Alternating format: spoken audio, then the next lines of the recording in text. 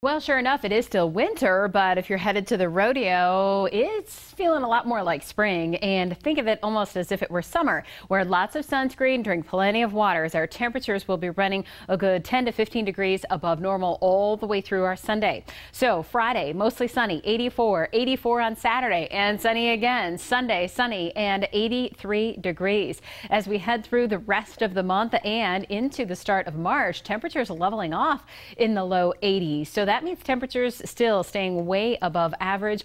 Temps will eventually drop back to the upper 70s to near 80 degrees by Tuesday. That'll be the first of March for us. So looks like March moving in like a lamb, not like a lion.